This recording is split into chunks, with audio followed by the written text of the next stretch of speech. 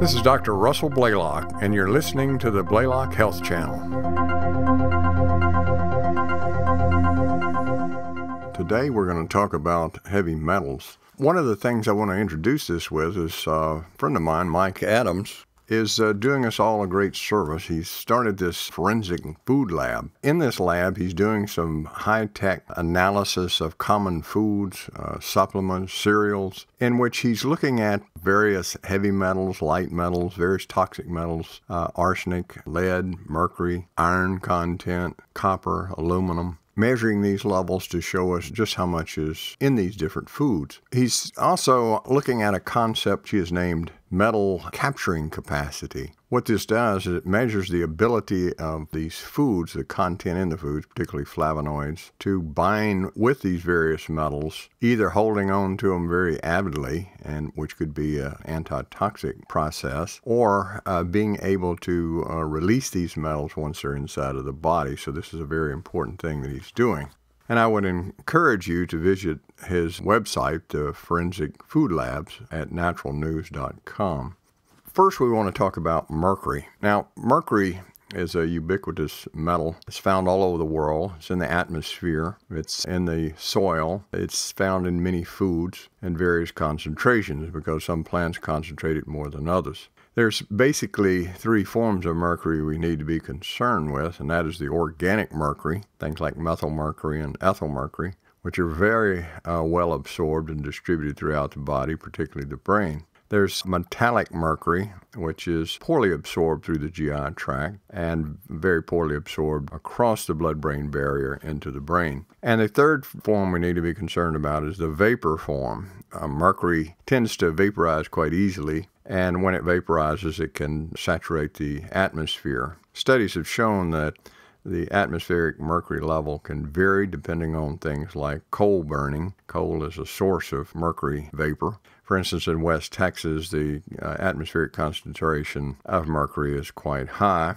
And in the southern states, the mercury level generally tends to be rather high. And during hurricane season, when the hurricanes come through in the Gulf, uh, it tends to push this mercury vapor up north, and then it'll linger in the uh, northern states. So this can be a source of significant problem. Now, a lot of what we learned about mercury toxicity came from Iraq in 1971, in which they accidentally fed a large number of people bread that they made their uh, pita type bread out of, contained a very high amount of mercury. Something like 50,000 people were poisoned and over 5,000 died. And then, in a period from 1932 to 1968, in Japan, in the Minamata Bay, they had a company there that was uh, dumping a mercury compound into the bay, and it was being converted into methyl mercury. The uh, seafood uh, in that bay had very high contents, and so tens of thousands of people were poisoned by this mercury. So, we had a chance to study the pathology and the effect of this mercury on the brain in particular.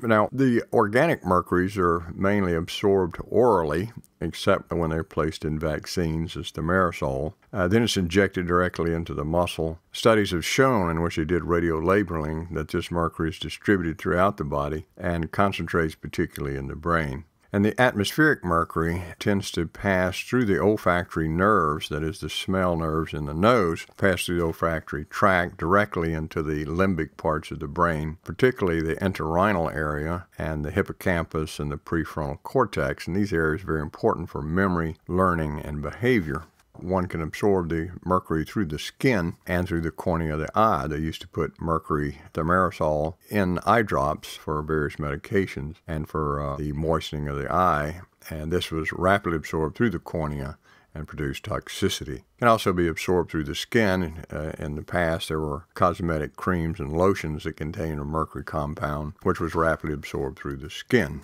And of course, as we're seeing with Mike Adams' studies, a number of foods contain some mercury, and these are mainly processed foods. And drugs contain mercury. For instance, the prescription drugs, uh, some of those have been shown to contain mercury compounds. And of course, the big worry is the illegal drugs because these aren't tested at all, and these contain not only mercury but a number of dangerous chemicals. In the past, one of the ways we discovered the toxic effect of mercury was that in the hatter industry, uh, when they would prepare the felt hats, they used a mercury compound for this hat production. And the people who did this, of course, used their bare hands and the mercury was absorbed. And people noticed these people tend to stumble around like they were intoxicated and they tended to act rather bizarre and very strange behavior. And so they stuck the term uh, mad as a hatter. Also, cinnabar miners, which is the basic element that mercury is extracted from, also were noted to have severe damage to their body from breathing this vapor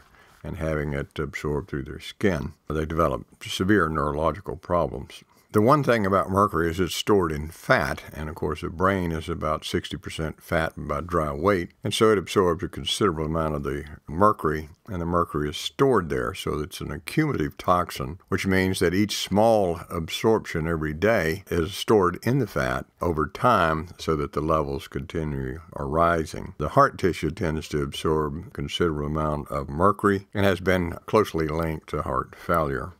Now, one of the unusual things about mercury is that it's a delayed toxicity. That is, people who have significantly high exposures to mercury may appear perfectly normal for several years, even up to five years, before they finally develop severe toxicity. So there can be a very long period of delay. Many of the studies that were done on mercury, in fact, were short term studies and this falsely demonstrated that the mercury was not toxic when a longer term study would have demonstrated it. The organic mercury can have the methyl group removed enzymatically and ethyl group, in the case of thimerosal, the ethyl mercury, and it converts it to a metal inside of the body. This happens in the brain when the methyl mercury and ethyl mercury are absorbed into the brain, which they're very easily absorbed into the brain. They are changed into this metallic mercury, which is thought to be more toxic and more persisting, can persist for a lifetime. One of the uh, interesting studies on how uh, mercury damages the brain was done by Charles and co-workers, in which they used rhesus monkeys exposed to methyl mercury. And what they found is even with relatively small concentrations of methyl mercury, this compound accumulated in the astrocytes of the brain. Now, the astrocytes are the site of glutathione production for the brain, which is a very protective antioxidant, and it's the site where glutamate is regulated in the brain. Over time, the astrocytes begin to die off. This released the glutamic acid, producing excitotoxicity in the brain long term. Also, with this demethylation process, the mercury was redistributed in the brain so it went to different areas that had profound effect on behavior, learning, and memory. They also found that the concentration of mercury that was toxic was much lower than they first thought. As they began to look at it, they found even submicromolar concentrations of mercury could cause this release of glutamate in the brain and intense excitotoxicity. It also causes the mitochondrion to malfunction. And as I said, uh, mercury is associated with heart failure. The higher the mercury level, the greater the incidence of heart failure. It also accumulates in the kidneys and associated with kidney damage. One of the greatest accumulations, of course, is in the colon and liver. And this is because of the intrahepatic circulation uh, of mercury that's how it's excreted primarily by the colon, less so by the kidneys. And so the intestines become a site of damage by the colon, and the bacteria in the colon can change the mercury into a different form of mercury. As far as treatment of mercury toxicity, DMSA has been the standby, but a problem with that is it can be toxic. It does not remove mercury from the brain. It can cause a redistribution of the mercury, that is, change it from the subcutaneous fat or the fat in the body and distribute it to the brain. Other ways to reduce mercury toxicity are alpha lipoic acid, which in high doses tends to be an excellent way to reduce the toxicity of mercury and bind the mercury. Garlic is a very potent binder of mercury and enters the brain quite well. And the advantage of garlic is it can be taken all the time, particularly aged garlic extract.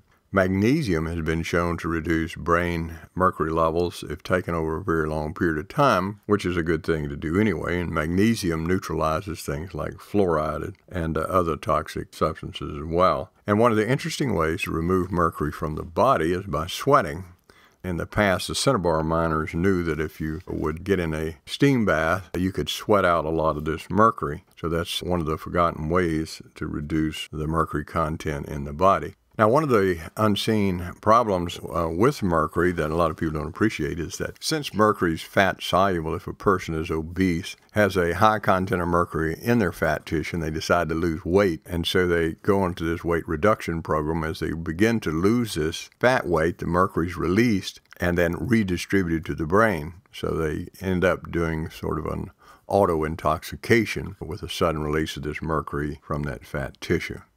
Now, there are some other things that we need to understand in relationship to these toxic metals. Primarily is that the concept of subclinical damage. What this means is that sometimes people are exposed to these toxic metals such as mercury, cadmium, lead, arsenic, and they don't appear to be having any particular problem, or there's very subtle problems that they assume are just aging or uh, change of life or something like that. So we know that there's this subclinical toxicity in which changes are occurring in the mitochondrion, the cell function, the brain function that are so subtle they're not clinically picked up until much later. So this needs to be appreciated that this can occur.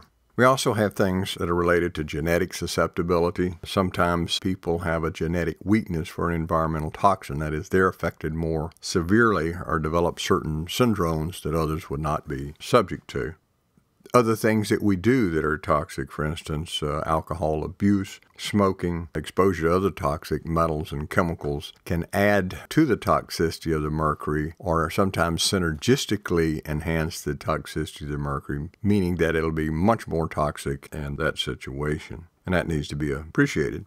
Now, often people go to doctors with heavy metal toxicities that they're not aware of, and they complain of vague feelings of fatigue or cloudiness of their thought, memory lapses, irritability, depression, sometimes minor aches and pains, and it's put off by the doctor. They say, well, you're just getting older, and that's something you have to expect. It could be due to stress, or you for women, they say, well, you're going through menopause and these things happen, so they just sort of brush it off. Unfortunately, one of the last things that's ever looked at is the possibility of metal toxicities. And most doctors are unfamiliar with the details of metal toxicities, so they don't even consider it in their differential diagnosis. As a result, many of these patients are called uh, crocs or or they're just tell them that they're chronically depressed and they'll shift them off to another physician or shift them off to a psychiatrist or write them a prescription for an antidepressant. Unfortunately, this happens quite often.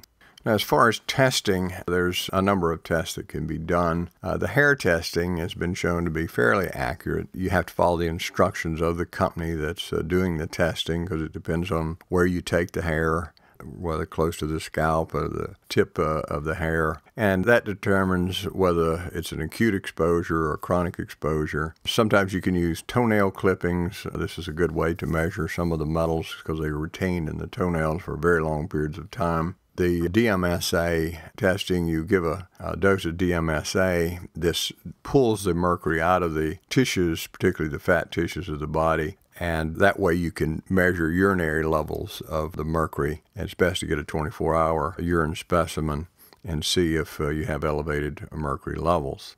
As far as some of the newer treatments, some new compounds are being worked on to see if there's better ways and less toxic ways to remove these metals. One of the concepts we have is that of binding of the metal but not moving it or removing it. Basically, what that means is we found that if certain compounds, for instance, flavonoids, quercetin, curcumin, will bind the mercury so tightly that even though it doesn't remove it, it reduces or eliminates the toxicity. We see this with a number of compounds, for instance, with fluoride.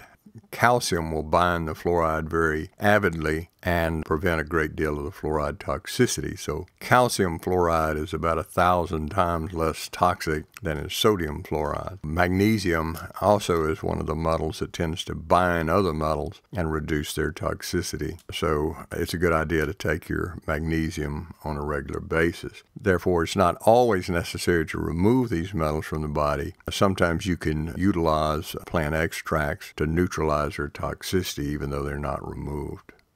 Well, I hope you've enjoyed this broadcast. And next week's broadcast, I'll discuss some of the other metal toxicities, such as cadmium and lead and arsenic. The information contained within these programs is not intended to replace or contradict that of your physician. This information is for educational purposes only.